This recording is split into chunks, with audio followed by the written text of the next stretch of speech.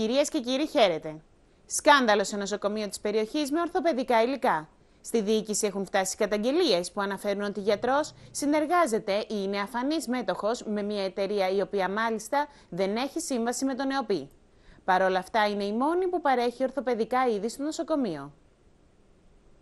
Σ' με γνωστό γιατρό της Πάτρας, ο οποίος εκτός από την ιατρική του δραστηριότητα, σύμφωνα με καταγγελίες που έχουν φτάσει και στη διοίκηση του νοσηλευτικού ιδρύματος, είναι κρυφός μέτοχος, προφανώς με ιδιωτικά αφανή συμφωνητικά, σε εταιρεία πώληση ορθοπαιδικών ειδών. Σύμφωνα με καταγγελία, η συγκεκριμένη εταιρεία δεν έχει καν άδεια κατασκευών για ορθοπαιδικά είδη, γι' αυτό και δεν έχει σύμβαση με τον ΕΟΠΗ. Το κόλπο λοιπόν που χρησιμοποιείται είναι το εξής. Ο γιατρός συζητά με τον ασθενή, τον οποίον προφανώς έχει θεραπεύσει ή εγχειρήσει και του ζητά να αγοράσει την ορθοπαιδική κατασκευή από τη συγκεκριμένη εταιρεία, παρέχοντάς του μια έκπτωση ώστε η τελική τιμή να πλησιάζει τη συμμετοχή του που ούτως ή αλλιώς θα πλήρωνε στον νεοποιή. Αν για παράδειγμα ένα είδος κοστίζει 800 ευρώ και η συμμετοχή του ασφαλισμένου ασθενούς είναι 500 ευρώ, ο γιατρός του ζητά 550 ευρώ. Ο, αρ... ο ασθενής φυσικά συμφωνεί, έστω και με την παραπάνω τιμή, αφού θέλει να τα έχει καλά με τον γιατρό του. Σύμφωνα με τον νόμο, όλα τα είδη που μπαίνουν μέσα στα νοσοκομεία θα πρέπει να εντάσσονται στα λεγόμενα ΚΕΝ, τα κλειστά ενοποιημένα νοσήλια. Φυσικά τα συγκεκριμένα είδη από αυτή την εταιρεία μπαίνουν μέσα χωρίς να ακολουθείται καμία τέτοια διαδικασία. Οι ίδιες πηγές αναφέρουν ότι ο συγκεκριμένος γιατρός έχει πειθό και έχει πείσει και άλλους συναδέλφους του να προμηθεύονται τα ορθοπαιδικά είδη μόνο από τη συγκεκριμένη εταιρεία. Κανείς φυσικά δεν μπορεί να αποδείξει την πιθανή επιχειρηματική εμπλοκή του γιατρού με την εταιρεία. Όμως, μήπως θα πρέπει να απαντήσει η διοίκηση του νοσοκομείου πώς είναι δυνατόν να μπαίνουν στο νοσοκομείο τέτοια είδη χωρίς να περνάνε από τα ΚΕΝ; Επίσης, με βάση τον αριθμό των επεμβάσεων που έχουν γίνει, από πού έχουν αγοραστεί τα είδη που απαιτούνταν για την μετεγχειρητική αποκατάσταση των ασθενών, γνωρίζει η διοίκηση τις καταγγελίες που έχουν γίνει. Φυσικά δεν θα μπορούσαν να είχαν γίνει εκράφος, αφού αυτόματα ετίθε το ζήτημα συκοφαντικής δυσφήμισης και αν δεν αποδειχτεί στο δικαστήριο πως ο συγκεκριμένος γιατρός είναι αφανής μέτοχος σε μια τέτοια εταιρεία. Οι ίδιες πηγές αναφέρουν πως και αρκετοί άλλοι, όχι μόνο γιατροί, προτείνουν στους ασθενείς την αγορά υλικών από τη συγκεκριμένη εταιρεία. Όταν δε κάποιος τόλμησε να διαμαρτυρηθεί, δέχτηκε τα πειρά του γιατρού αφανούς μετόχου. Οι εξελίξεις θα είναι ραγδαίες και η επόμενη εβδομάδα έρχεται με νέες αποκαλύψεις. Εξαγγελίε Σπίτζη από την Πάτρα για τρένο πατρών πύργου και φράγμα πύρου παραπύρου. Βήθηση του τρένου θα γίνει από Κανελοπούλου μέχρι και Άγιο Διονύσιο. Σε σημαντικές για τη Δυτική Ελλάδα ανακοινώσεις προχώρησε από την Πάτρα ο Χρήστος Πίτζη. Δήλωσε πως το Υπουργείο πήρε πρόσφατα έγκριση από την Ευρωπαϊκή Ένωση ώστε πατρών πύργου να είναι αυτοκινητόδρομος με βάση τα ευρωπαϊκά πρότυπα και όχι μονοπάτι όπως θα κατασκευαζόταν αν δεν υπήρχε υπομονή για το έργο. Ανακοίνωσε προκήρυξη του έργου διπλής γραμμής του τρένου προπολογισμού 130 εκατομμυρίων ευρώ μέσα στο 18 με βήθηση της γραμμής Cut and Cover από την οδό Κανελοπούλου μέχρι τον Άγιο Διονύσιο και πλήρη υπογειοποίηση από Άγιο Διονύσιο έως Άγιο Ανδρέα και από εκεί σύνδεση με νέο λιμάνι και προς πύργο. Παράλληλα ανακοίνωσε πως θα ξεκινήσει μελέτη και για γραμμή τραμ στις δυτικές συνοικίες της Πάτρας. Ο Υπουργός Υποδομών, λίγο πριν την ολοκλήρωση της ομιλίας του, ανακοίνωσε επίσης πως στις 31 Οκτωβρίου θα είναι έτοιμο το φράγμα πύρου παραπύρου, ένα έργο που έχει κολλήσει εδώ και πάρα πολύ καιρό. Σε χιλιάδες οπαδούς του Κουκουέ μίλησε χθες το βράδυ στην Πάτρα ο Γενικός Γραμματέας του Κουκουέ Δημήτρης Κουτσούμπας. Δήλωσε πως κυβέρνηση και ΝΑΤΟ ετοιμάζονται για να εξοπλίσουν με πυρηνικά τον Άραξο. Επέμενε και από την Πάτρα, όπου μίλησε την Παρασκευή ο Γενικός Γραμματέας του ΚΚΕ Δημήτρης Κουτσούμπας στις καταγγελίες ότι η κυβέρνηση και το ΝΑΤΟ σχεδιάζουν να μεταφέρουν στον Άραξο ειδικά όπλα, ορολογία που χρησιμοποιείται ακόμα και για πυρηνικά. Όπως υποστηρίζει, η Δυτική Ελλάδα, όπως και ολόκληρη η χώρα, εντάσσεται μέσω των υποδομών που διαθέτει στην επικίνδυνη στρατηγική του ΝΑΤΟ. Έκανε αναφορά στον Άραξο, την Ανδραβίδα και το άκτιο της Πρέβεζας. Αναφέρθηκε όμως και σε πολιτικά ζητήματα και καυτηρίασε την πολιτική του ΣΥΡΙΖΑ, κυρίως στην οικονομία. όπου κατάφερε, όπως είπε, να εξαθλιώσει τους εργαζόμενους και τους ανέργους. Αμέσως την άλλη μέρα το πρωί ο Τσίπρας το έκανε ναι, ψηφίζοντας ένα νέο αντιλαϊκό μνημόνιο, πάλι λέει για το καλό μας. Ούτε βέβαια όταν περνούσε τη μια μετά την άλλη τις αξιολογήσεις, ούτε τώρα που κατέληξε με τους εταίρους του στην περιβόητη συμφωνία για το χρέος. Είχε μπροστά του καθαρό το στόχο της εξόδου από την οικονομική κρίση της επιστροφής στην ανάκαμψη, αλλά στην καπιταλιστική ανάκαμψη. Γι' αυτό και διατήρησε στο ακέραιο όλους τους μνημονιακούς νόμους της Νέας Δημοκρατίας και του Πασόκ. Η ομιλία του έγινε στο μόλο της Αγίου Νικολάου στο πλαίσιο του 27ου αντιμπεραλιστικού διημέρου της ΚΝΕ. Τον κύριο Κουτσούμπα υποδέχθηκαν ο Δήμαρχος Πάτρας, ο βουλευτής Αχαΐας Νίκος Καραθανασόπουλος και πολλά στελέχη της Δημοτικής Αρχής Πελετίδη. Ο ΣΥΡΙΖΑ που ο λαός τον εμπιστεύτηκε ελπίζοντας σε κάτι καλύτερο απολαμβάνει τη στήριξη αυτού του διεφθαρμένου συστήματος. Μεγάλου μέρος των καπιταλιστών επιχειρηματιών ακριβώς γιατί με αποφασιστικότητα ολοκληρώνει τη βρώμικη δουλειά τους. Έπαθε σοκ μητέρα τριών παιδιών όταν διαπίστωσε ότι η εφορία της είχε κάνει κατάσχεση στον τραπεζικό της λογαριασμό χωρίς η ίδια να έχει οφειλές. Απεδείχθη πως χρωστούσε η εδώ και χρόνια πεθαμένη γιαγιά της με την οποία είχαν το ίδιο ονοματεπώνυμο. Η ιστορία τρέλας βίωσε μια μητέρα τριών παιδιών από την Πάτρα, η οποία είδε τα χρήματά της από τον κατά τα άλλα ακατάσιοτο λογαριασμό της να κατάσχονται σε μια νύχτα. Ήταν εκτός πατρών όταν επιχείρησε να κάνει μια συναλλαγή και διαπίστωσε ότι ο λογαριασμός της ήταν μείον. Πήγε στην τράπεζα να δει τι είχε συμβεί και ενημερώθηκε πως υπήρχε οφειλή 450 ευρώ στην εφορία. Η ίδια επέμενε πως δεν οφείλει ούτε ένα ευρώ και τελικά μετά από πολλές συζητήσεις και έρευνες βρέθηκε ο ένοχος. Δεν ήταν άλλος από τη γιαγιά της, η οποία έφερε το ίδιο όνομα και είχε φύγει από τη ζωή εδώ και 10 χρόνια. Όπως της είπαν, λόγω συνωνυμίας πλήρωσε εκείνη το χρέος της γιαγιάς. Τελικά ενημερώθηκε πως θα έπρεπε να ακολουθήσει μια συγκεκριμένη διαδικασία για να τη επιστραφεί το ποσό και φυσικά θα υποστεί μεγάλη ταλαιπωρία για το λάθος της εφορίας. Τρύπα στα ταμεία του Συλλόγου Καταστηματαρχών Εστίασης και Αναψυχής. Η νέα διοίκηση καλεί ορκωτούς λογιστές. Για άδεια ταμεία σε ένα σύλλογο που από το ειστέρημα των μελών του και από τις δραστηριότητές του είχε καταφέρει να έχει τζίρο ύψους 450.000 ευρώ την τελευταία τριετία, κάνει λόγο ο νέος πρόεδρος του ΣΚΕΑΝΑ Αχαΐας Σπύρος Στεργίου, αφήνοντας σαφές υπονοούμενο περί κακοδιαχείρισης από την προηγούμενη διοίκηση Κοτοπούλη. Σύμφωνα με τα όσα είπε ο κ. Στεργίου στην εκπομπή του Νίκου Ξανάλατου στο Max FM, ο Σκιανά είχε τζίρο της τάξης των 150.000 ευρώ ετησίως και κατέληξε να έχει τα ταμεία του στεγνά, πράγμα το οποίο όπως επεσήμανε σε καμία περίπτωση δεν δικαιολογείται και γι' αυτό έχει ζητηθεί διαχειριστικός έλεγχος από ορκωτό λογιστή. Ε, είμαστε άφραγγοι.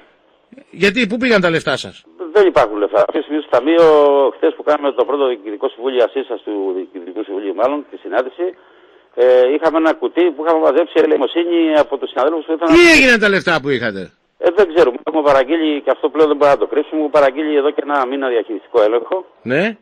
Και τα αποτελέσματα θα βγουν ως ολούχο. Πόσο ταμείο είχατε που χάθηκε, περίπου τώρα, ξέρετε; Κοιτάξτε, κάνα, είχα, είχε ένα ζήρο σύλλογο κοντά στι 450.000 Ωραία.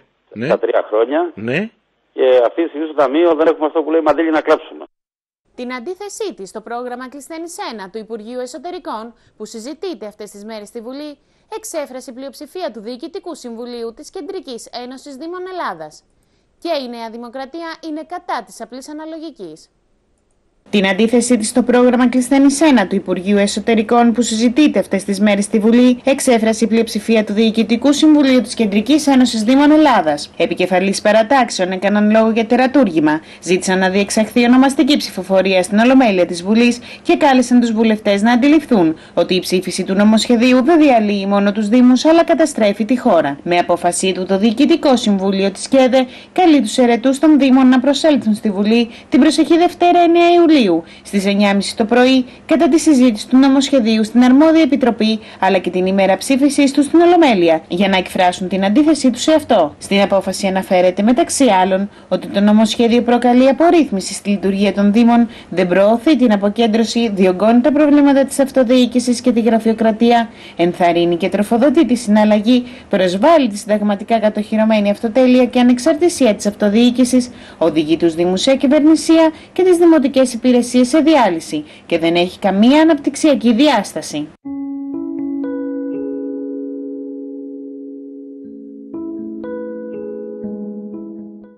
Τον Οκτώβριο του 2019 θα γίνουν οι δημοτικές και περιφερειακές εκλογές. Ωστόσο, οι διεργασίες για τους υποψηφίους έχουν ξεκινήσει από τώρα. Μπορεί οι δημοτικές εκλογές να βρίσκονται ακόμα μακριά, καθώς θα γίνουν το 2019. Ωστόσο, σε όλα τα κόμματα έχουν ήδη ξεκινήσει την προετοιμασία για τις υποψηφιότητες που θα υποστηρίξουν ανά την Ελλάδα, χωρίς να δοθούν τα παραδοσιακά χρήματα. Όσον αφορά το ΚΚΕ, είναι βέβαιο ότι θα χρήσει για μία ακόμη φορά υποψήφιο δήμαρχο τον Κώστα Πελετίδη. Ο γιατρός μοιάζει να μην έχει αντίπαλο, όμως η απλή αναλογική του κλειστένη μπορεί να φέρει τα πάνω κάτω στην οδό Μεζόνος. Στην οδό Πυραιό μελετούν προσεκτικά όλα τα ονόματα που βρίσκονται στο τραπέζι των συζητήσεων. Για την Πάτρα υπάρχει ξεκάθαρη επιθυμία του να είναι και πάλι υποψήφιος ο Κώστας Χριστόπουλος, χωρίς ωστόσο να υπάρχει η ίδια επιθυμία και από τη Νέα Δημοκρατία. Ο ΣΥΡΙΖΑ είναι βέβαιο πως καταλήγει στο πρόσωπο του γιατρού και νυν δημοτικού συμβούλου Ανδρέα Παναγιοτόπουλου, αφού ο Κώστας Παρτινός έχει δηλώσει πως δεν θα είναι εκ νέου υποψήφιος. Θεωρείται βέβαιο ότι το κοινοτικό θα κατέβει με τον Θεόδωρο Ντρίνια. Άγνωστο παραμένει αν η Βίβιαν Σαμούρη θα συνεργαστεί με τον Κώστα Πελετήτη, ενώ γρήφος υπάρχει για τον χώρο του κινήματος αλλαγής. Είναι βέβαιο πως η φόφη γεννηματά θα θελήσει δικούς της υποψήφιους, τουλάχιστον σε μεγάλους Δήμους. Ωστόσο, κανείς δεν γνωρίζει ποιες ζυμώσει θα γίνουν και ποιος θα είναι ο εκλεκτός. Προς το παρόν πάντως δεν υπάρχει καμία έγκυρη πληροφορία. Απλά ακούγονται κάποια ονόματα που ίσως επιθυμούσαν να βρίσκονται επικεφαλής του ψηφοδελτίου. Με τραύματα από δαγκώματα σκύλων μεταφέρθηκαν στο νοσοκομείο δύο άνθρωποι. Οι επιθέσεις αδεσπότων συνεχίζονται. Με τραύμα από δάγκωμα σκύλου στο πόδι μεταφέρθηκε στο Γενικό Κρατικό Νοσοκομείο Πατρών Άγιος Ανδρέας, 49χρονο. Ο άνδρας δέχτηκε επίθεση από αδέσποτο σκύλο και μετά το περιστατικό τραυματισμένος μετέβη στο νοσοκομείο, όπου αφού του παρασχέθηκαν οι πρώτες βοήθειες αποχώρησε. Στο νοσηλευτικό ίδρυμα του Αγίου Ανδρέα διακομίστηκε ένας 31χρονο, που και αυτός έπεσε θύμα επίθεσης σκύλου. Το περιστατικό συνέβη όταν το ζώο ιδιοκτησίας 53χρονου διέφυγε της προσοχής του και επιτέθηκε στο νεαρό, δαγκώνοντας στο πόδι. Τα τραύματα και σε αυτή την περίπτωση ήταν ελαφρά και μετά την παροχή των πρώτων βοηθειών, ο 31χρονο αποχώρησε από το νοσοκομείο. Πληθαίνουν τα περιστατικά αλλεργικών σοκ μετά από τσιμπήματα εντόμων στη Δυτική Ελλάδα. 58χρονος έπαθε ασφυξία μετά από τσίμπημα σφίκας. Το αλλεργικό σοκ, το οποίο προκλήθηκε από τσίμπημα εντόμου, μάλλον σφίκα, είναι η αιτία θανάτου του 58χρονου Σταύρου Δημητρόπουλου, που άφησε την τελευταία του πνοή στο Γενικό Νοσοκομείο Πύργου, όπως δήλωσε η ιατροδικαστή Αγγελική Τσιόλα. Τα βήματα της νεκροψίας έδειξαν ότι ο θάνατος του άτομου 58χρονου προήλθε από τα συμπτώματα που προκάλεσε το αλλεργικό σοκ που υπέστη από το τσίμπημα. Η αιτία θανάτου είναι ξεκάθαρα το αλλεργικό σοκ, το οποίο έχει διάφορα συμπτώματα και προκαλεί αλλαγές στο σώμα, ανάλογα με την αλλεργική διάθεση του κάθε ανθρώπου. Τις πιο πολλές φορές προκαλεί είδημα στο λάριγκα, φράζοντας τον αέρα, αυτό συνέβη στη συγκεκριμένη περίπτωση και ο άνδρας έπαθε ασφυξία, ενώ υπέστη και ισχυμία στο μυοκάρδιο, το οποίο είναι επίσης σύμπτωμα αλλεργικού σοκ. Δεν είναι το πρώτο παρόμοιο περιστατικό το τελευταίο χρονικό διάστημα, καθώς τον προηγούμενο μήνα καταγράφηκε ένας ακόμα θάνατος ατόμου στην Ηλία εξαιτίας αλλεργικού σοκ από τσίμπημα εντόμου. Στο Σφυρί, βίλα γνωστής οικογένειας Πατρινών, για χρέη σε μισθώματα από τη λειτουργία εταιρείας στο χώρο της υγείας. Την αγωγή κέρδισε άλλος γνωστός πατρινός, ιδιοκτήτης του ακινήτου. Στο Σφυρί βγαίνει η μεγάλη βίλα γνωστής πατρινής οικογένειας σε κοσμική περιοχή στην ευρύτερη περιοχή του Ρίου μετά από οφειλέ ενοικίων από γνωστή επιχείρηση που σχετίζεται με το χώρο της υγείας και την οποία λειτουργούσε χρόνια. Σύμφωνα με καλά διασταυρωμένες πληροφορίες, ο ιδιοκτήτης του ακινήτου κέρδισε και το πρωτοβάθμιο αλλά και το δευτεροβάθμιο δικαστήριο για χρέη 8 μηνών σε ενίκεια, συνολικό ποσό 85.000 ευρώ, αφού το ακίνητο είναι εκατοντάδων τετραγωνικών μέτρων. Όμως, έχει αγερθεί και αγωγή για άλλους 37 μήνες οφειλόμενων ενοικίων με συνολικό διεκδικούμενο ποσό περίπου 500.000 ευρώ. Το θέμα έφτασε και στον Άριο Πάγο μετά από αίτηση ανέρεσης που είχαν υποβάλει οι ενοικιαστές. Το ανώτατο δικαστήριο έκρινε πως το ποσό των 85.000 ευρώ θα πρέπει άμεσα να καταβληθεί και η οριστική του απόφαση θα εκδοθεί σε συνεδρίασή του που θα γίνει σε λίγους μήνες. Όμως και πάλι η πατρινή οικογένεια αρνήθηκε να καταβάλει το συγκεκριμένο ποσό στον ιδιοκτήτη, ο οποίος κατέφυγε σε έδικα μέσα. Έτσι πέτυχε να ξεκινήσει η διαδικασία κατάσχεσης της βίλας της οικογένειας και να διενεργηθεί και πληστηριασμός εντός των προσεχόμενων ώστε να καταφέρει να πάρει τα χρήματα που του οφείλονται. Όπως λέει ο ίδιος, θα μπορούσε να είχε μισθώσει το ακίνητό του σε άλλη εταιρεία, όμως λόγω της δέσμευσης που υπήρχε δεν τα κατάφερε. Έτσι, έχασε ένα σημαντικό ποσό από τα ενίκια που θα ελάμβανε. Θα πρέπει να σημειωθεί πως και η εταιρεία δεν λειτουργούσε τους τελευταίους μήνες, η οικογένεια δεν είχε προχωρήσει σε καταγγελία της σύμβασης, κάτι που έκανε ο ίδιος ο ιδιοκτήτης πριν από ένα μήνα. Ιδιοκτήτη καφές στην Οδογούναρη βρήκε πορτοφόλι με 5.000 ευρώ και το παρέδωσε στην αστυνομία. Κίνηση σπάνια στις μέρες μας. Χωρίς δεύτερη σκέψη, παρέδωσε στην αστυνομία ένα πορτοφόλι που βρήκε μπροστά από το καταστημά του και το οποίο περιείχε 5.000 ευρώ. Πρόκειται για τον Αλέξανδρο Κοκόνη, ιδιοκτήτη του καφέ Ελάτε στην Οδογούναρη. Το πορτοφόλι είχε πέσει από οδηγό μηχανής που ανέβαινε τη Γούναρη. Ο ιδιοκτήτης του καφέ το πήρε, πήγε στην αστυνομία, ο κατοχός του βρέθηκε και τον ευχαρίστησε. Ε, καθόμασταν εδώ πέρα ένα πρωί ε, και ήταν ένας με, με μηχανή. Τέλος πάντων, και όπως σταματάει ο άνθρωπος εδώ πέρα κάποια στιγμή και τέτοια, ε, ξαφνικά ξεκινάει απότομα και το ξέρετε από το δεύτερο τσαντάκι που φορούσε, το κρεμαστό, ένα πορτοφόλι. Εν τω μεταξύ δεν το κατάλαβε. Ε, και τέλος πάντων, όπω καθόμασταν εκεί πέρα, το είδα εγώ αμέσως. Πήγα το μάζεψα, τον φώναξα, αλλά δεν πρόλαβα, δηλαδή δεν με είδα γιατί έφυγε γρήγορα και πήγα το παρέδωσα απέναντι στο αστυνομικό τμήμα. Μετά από κανένα δύο ώρο, τρίωρο τον ειδοποιήσανε και τα λοιπά και τέτοια. Ήρθε, πήγε το παρέλαβε, ήρθε εδώ πέρα, μας ευχαρίστησε και τέτοια. Πήγε 5.000 ευρώ μέσα. Ναι, ναι, ναι, είχε το ποσό των 5.000 ευρώ. Για την πράξη του δέχθηκε συγχαρητήρια από γνωστούς και φίλους, αφού τέτοιες κινήσεις στις μέρες μας αποτελούν φωτεινά παραδείγματα. Προσωρινή λύση στο πρόβλημα των χαλασμένων φωτεινών σηματοδοτών δίνει η Περιφέρεια Δυτικής Ελλάδος. Ήδη ενέκρινε το σχετικό κονδύλι.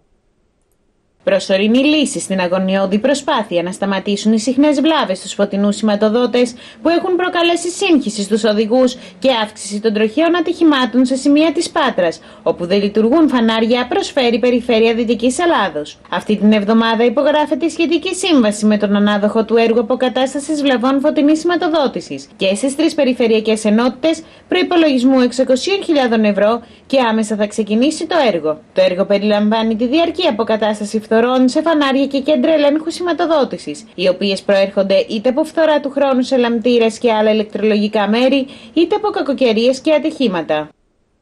Μπαράζ κλοπών σε παραλίες την ώρα που οι λουόμενοι απολαμβάνουν το μπάνιο τους. Η αστυνομία εφιστά σε όλους την προσοχή. Οι πορτοφολάδες δεν έχουν αργίες, όπως και οι διαρρήκτες οχημάτων. Και την προηγούμενη Κυριακή πήραν αμπάριζα τις παραλίες της περιοχής και όπου δεν έγιναν αντιληπτοί αφαίρεσαν ό,τι μπορούσαν. Στην περιοχή της Λακόπετρας, δύο οικογένειες που έκαναν το μπάνιο τους, τους αντελήφθησαν εγκαίρως και τους πήραν στο κυνήγι. Λίγο αργότερα, πιθανόν οι ίδιοι, εντοπίστηκαν στην Καλόγρια. Και εκεί τους κυνήγησαν, όμως σύμφωνα με τα όσα μας κατήγγυλαν λουόμενοι, δεν έφυγαν από την περιοχή. Προφανώς θα εντόπιζαν κι άλλους στόχους και θα δρούσαν ανάλογα. Στην περιοχή του Ψαθοπύργου, Λόγου καθώς και σε άλλες περιοχές έχει παρατηρηθεί το φαινόμενο διαρρήξεων γιοταχή προκειμένου οι δράστες να αρπάξουν ό,τι μπορούν από μέσα. Έτσι, εφόδους και στις παραλίες κάνει το τελευταίο διάστημα η τοπική αστυνομία σε μια προσπάθεια να συγκρατήσει το κύμα παραβατικότητας σε βάρος των λοουμένων. Τα περιστατικά κλοπών σε βάρος των πολιτών που ανυποψίαστη κάνουν το μπάνιο τους στη θάλασσα χωρίς να υπολογίζουν το μακρύ χέρι των επιτίδιων αλλά και οι διαρρήξεις σε γιοταχή που είναι σταθμευμένα κοντά σε παραλιακά σημεία έχουν αυξηθεί κατακόρυφα τελευταία. Το γεγονός προκάλεσε την ενεργοποίηση της αστυνομίας που με περιπολίες σε πολυσύχναστες παραλίες επιχειρεί να το αντιμετωπίσει. Πρέπει όταν προσεγγίζουμε την παραλία καταρχήν με όχημα να μην παρκάρουμε το αυτοκίνητό μας σε σημείο που δεν μπορούμε να το δούμε. Είναι καλύτερο να το αφήνουμε σε οργανωμένα πάρκινγκ ή πολύ κοντά εκεί που βρισκόμαστε. Επίσης, μέσα στο αυτοκίνητό μας να μην αφήνουμε ποτέ εκτεθειμένα αντικείμενα τα οποία μπορούν να προκαλέσουν κάποιον επίδοξο διαρρήκτη να μας σπάσει το τζάμι για να μας τα αφαιρέσει. Ό,τι θέλουμε να αφήσουμε στο αυτοκίνητο και δεν θα το πάρουμε μέσα στην παραλία, είναι καλό να το αφήνουμε πάντα στο προπαγκάζ. Στο χώρο της παραλίας, να προστατεύουμε πάντα το κινητό μας τηλέφωνο, τα γυαλιά μας, αντικείμενα τα οποία μπορεί κάποιος εύκολα να τα αρπάξει, να μην τα αφήνουμε εκτεθειμένα ποτέ πάνω στην πετσέτα, αλλά να τα έχουμε όλα μέσα σε μία τσάλα τοποθετημένη, η οποία να μην είναι εμφανή. Έντονες διαμαρτυρίες των κατοίκων της Αγιάς για τη λειτουργία της τοπικής μονάδας υγείας στην οδό Κωστή Παλαμά, που είναι μια τυφλή οδός. Η έκτη ΥΠΕ, ωστόσο, επισημαίνει ότι δεν υπάρχει πρόβλημα. Οι εικόνες που βλέπετε αφορούν τον ισόγειο χώρο πολυκατοικίας 16 ιδιόκτητων διαμερισμάτων στην περιοχή της Αγίας στην Πάτρα, στο αδιέξοδο επί της οδού Κωστή Παλαμά. Στην περιοχή υπάρχει πρόβλημα στάθμευσης και διέλευσης λόγω του αδιεξόδου. Εκεί υπάρχει ένα κατάστημα με είσοδο από την Κωστή Παλαμά. Αυτό το χώρο του καταστήματος διαμόρφωσαν κάποιοι τροποποιώντας το εφαπτώμενο πάρκινγκ στο πίσω μέρος προκειμένου να μεγαλώσει το εμβαδόν για τη χρήση του χώρου ως τοπική ομάδα υγείας και να αποκτήσει αυτή η τοπική ομάδα υγείας της Αγιάς πόρτα εξόδου κινδύνου στον ακάλυπτο της πολυκατοικίας. Οι περίοικοι θέτουν ζήτημα παράνομης χρήσης από πάρκινγκ σε κατάστημα και πως δόθηκε η σχετική άδεια. Σάλο με την αναγκαστική παρέτηση για την υποδιοικήτρια του νοσοκομείου Άγιος Ανδρέας. Στην υπόθεση παρενέβησαν και συνδικαλιστές, καθώς η γυναίκα είχε λάβει άδεια αλοχία. Συνέβη και αυτό στην Πάτρα. Η υποδιοικήτρια του Γενικού Νοσοκομείου Άγιος Ανδρέας Μαρία Ζαφυροπούλου έλαβε τηλεφώνημα από το Υπουργείο Υγείας με το οποίο τη ζητήτω να διακόψει τη σύμβαση εργασίας με την υποδιοικήτρια του νοσοκομείου. Όταν αρνήθηκε να κάνει κάτι τέτοιο και μάλιστα με τηλεφωνική εντολή, έφτασε και έγγραφη εντολή στην οποία αναφερόταν η παρέτηση της υποδιοικήτρια, η οποία μάλιστα αυτή την εποχή βρίσκεται σε άδεια λοχείας. Και κάτι τέτοιο είναι παράνομο. Και όλα αυτά συμβαίνουν όταν δύο μήνες μετά τις αποκαλύψεις για την τέος υποδιοικήτρια του νοσημάτων θώρακο παραμένει στη θέση της, χωρίς το Υπουργείο Υγείας να έχει ακόμα ζητήσει την παρέτησή της. Μάλιστα, η συγκεκριμένη όχι μόνο παραμένει στη θέση της υποδιοικήτριας στο καταργημένο πλέον νοσοκομείο, ασκώντας διοίκηση, αλλά αξιολογεί να καλεί προκλητικότατα σε αξιολόγηση τους διευθυντές του πάλι ποτέ νοσημάτων θώρακο. Σύμφωνα με τον πρόεδρο Σωματείου Εργαζομένων του Γενικού Νοσοκομείου Άγιος Ανδρέας, αν τις επόμενες ημέρες δεν υπάρξει εξέλιξη στο θέμα της υποδιοικήτριας του πρώην νοσοκομείου και δεν γίνει γνωστό τι θα γίνει με τις 58.000 ευρώ που απομένουν από αυτά που είχε παράνομα εισπράξει από τη σύνταξη του νεκρού πατέρα της, το σωματείο θα προσφύγει στον εισαγγελέα πατρών. Μιλάμε για την υποδιοικήτρια ε, που έπρεπε να, να καρατομήσουν την υποδιοικήτρια που ενέχεται στις γνωστές καταγγελίες που είχε κάνει η ΠΟΕΔΗΝ ε, πριν από λίγο καιρό σε ό,τι αφορά την σύνταξη του πατέρα της ε, και όλα αυτά τα αρρύθμιστα, τις αρρύθμιστες οφειλές, την κάλυψη που της παρέχει πλήρως ε, το Υπουργείο Υγείας και κατ' επέκταση η κυβέρνηση. Να ρωτήσω κάτι, πιστεύετε ότι έχουν σχέση αυτά δύο; Δηλαδή θα την κάνουν υποδιοικήτρια στον Αγιαντρέα για να καταλάβω. Εγώ από ό,τι βλέπω, ναι, ε, ε, προετοιμάζουν το κλίμα, το έδαφος, να την κάνουν υποδιοικήτρια στον Αγία Ανδρέα.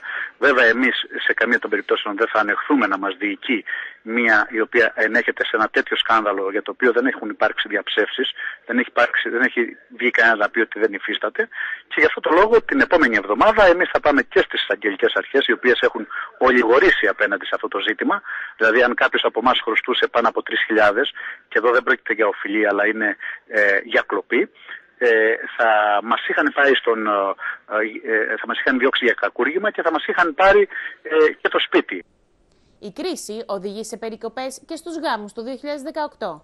Αρκετοί γίνονται σε εξοκλήσια, ενώ τα έξοδα δεξιώσεων έχουν πέσει κατακόρυφα. Περικοπές και στους γάμους. Είναι γνωστό ότι τα τελευταία χρόνια της κρίσης μειώθηκαν οι γαμήλε τελετές, ενώ οι περισσότεροι γάμοι γίνονται στα δημαρχία παρά στις εκκλησίες για την αποφυγή πολλών εξόδων. Τώρα όμως η μόδα απαιτεί εξοκλήσια και τελετές σε κλειστούς φιλικούς κύκλους, ούτε καν οικογενειακούς. Φέτος το καλοκαίρι επικρατεί οργασμός γάμων σε μικρές εκκλησίες, με τα ζευγάρια ωστόσο να προβαίνουν σε δραστικές περικοπές όλων όσων είχαμε συνηθίσει στο παρελθόν και ριζικές αλλαγές αρκετών παραδοσιακών στοιχείων. Νύφες με απλά λευκά φορέματα και όχι νηφικά, γαμπρί με ένα απλό πουκάμισο και γάμι στους οποίους έχουν προσκληθεί μόνο οι δύο οικογένειες και οι στενοί φίλοι του ζευγαριού. Και όσο για τις δεξιώσεις, ούτε λόγος. Οι νεόνυμφοι το γλεντούν με τους φίλους τους σε κάποια από τα παραλιακά καταστήματα ή και στον προάβλιο χώρο της εκκλησίας, αν το επιτρέπει ο παπάς. Απίστευτο συμβάν στην περιοχή των συνόρων για δύο αδελφές. 40χρονος που τελικά συνελήφθη από την αστυνομία είχε γεμίσει τους τοίχους με ψεύτικες και συκοφαντικές ροζ αγγελίες που τις αφορούσαν. Σάλο προκάλεσε η είδηση για το σοκ που έπαθαν δύο αδελφές που συγκατοικούν στην Πάτρα όταν ξύπνησαν ένα πρωί και διαπίστωσαν ότι η τύχη της πολυκατοικίας τους στην περιοχή των συνόρων αλλά και σε ολόκληρη τη γειτονιά κοντά στο στρατόπεδο φιλοξενούσαν ροζ αγγελίες για ερωτικές υπηρεσίες που δήθεν προσέφεραν. Μάλιστα δεν ανέγραφαν μόνο τα ονόματα των δύο νεαρών γυναικών αλλά και τιμοκατάλογο με το κόστος κάθε ερωτικής υπηρεσίας που υποτίθεται ότι παρήχαν. Σύμφωνα με όσα έγιναν γνωστά, ο άγνωστος για την ώρα δράστης, εκτός από τις απλές καυτές αγγελίες, είχε φτάσει στο σημείο να σχεδιάσει τον εξωτερικό τοίχο του στρατοπέδου του ΚΕΤ και τεράστιους φαλούς. Οι δύο νεαρές αδέλφες απευθύνθηκαν αμέσως στην αστυνομία και κατήγγυλαν ως υπέτειο για τη διαπόμπευσή τους ένα 40χρονο γνωστό τους. Μάλιστα κατέθεσαν και μήνυση σε βάρος του. Όταν ο 40χρονο ενημερώθηκε ότι έχει κινηθεί νομική διαδικασία σε βάρος του, έδειξε να εκπλήσεται και μάλιστα δεν σταμάτησε να επαναλαμβάνει ότι δεν έχει ιδέα για όσα του καταλογίζουν οι δύο κοπέλε. Ισχυρίστηκε επίσης ότι οι δύο αδελφές τον στοχοποίησαν γιατί είχαν προηγούμενα μαζί του. Τις απαντήσεις θα δώσει το δικαστήριο, στο οποίο οι δύο πλευρές θα βρεθούν αντιμέτωπες στο επόμενο διάστημα. Άκαρπες οι έρευνες του 65χρονου πατρινού να βρει τους δικούς του στην Πάτρα. Επέστρεψε στην Αμερική. Τον είχαμε συναντήσει στα τέλη Μαΐου όταν ήρθε στην Πάτρα μετά από 65 χρόνια. Φωτογραφήθηκε στην Παντάνασα όπου τον άφησαν νεογέννητο. Πήγε στο βρεφοκομείο και σε μεευτήρια για να βρει στοιχεία για την πραγματική του οικογένεια. Από Αμερική μας ενημέρωσε ότι αυτό το κεφάλαιο της αναζήτησης κλείνει, χωρίς δυστυχώς θετικό αποτέλεσμα. Βέβαια η αναζήτηση θα συνεχιστεί, καθώς ο Μίτσος, αυτό το όνομα είχε σε ένα χαρτάκι που είχε μαζί του, το συνδέει με την πόλη, δεν θα σταματήσει εδώ την προσπάθεια. Και επειδή πλέον στις αναζητήσεις του απέκτησε φίλους, ένας λόγος παραπάνω να διατηρήσει επαφές και να επανέλθει δρυμύτερος. Ε, μέσα από το δικό σου το πρόσωπο, ο άγνωστος αδερφός, ο άγνωστος συγγενής μπορεί να ανακαλύψει πολλά γιατί μιλάει η εικόνα σου και η συγκλονιστική σου ιστορία. Ε, Μέριλ, ε, μ' άρεσε αυτό που είπες, ότι σε αυτήν την τραγικότητα του συμβάντος, το ότι άφησαν δηλαδή ένα νεογέννητο παιδί μήνα Νοέμβρη, 26 Νοεμβρίου του 1954, έξω, με ένα σημειωματάκι πάνω που έλεγε ότι είναι βαφτισμένος και τον λένε Μίτσο, υπήρχε μια ιερότητα. Η ιερότητα του χώρου. Και η ιερότητα του χώρου είναι η εκκλησία της ε, Παντάνασας, εκεί στην Πάτρα. That is correct, yes. Ακριβώς έτσι έγινε το πράγμα. Ε, βλέπω λοιπόν ότι θα μεταφερθούμε τον Νοέμβριο του 1954 εκεί, που ήσουν 15 ημερών. Είχε στο σημείο που έλεγε το όνομά σου Μίτσος και λευκά που καμισάκια και πανάκια. Κυρίες και κύριοι, αυτό ήταν το δελτίο ειδήσεων του Super B. Σας ευχόμαστε να έχετε ένα όμορφο βράδυ.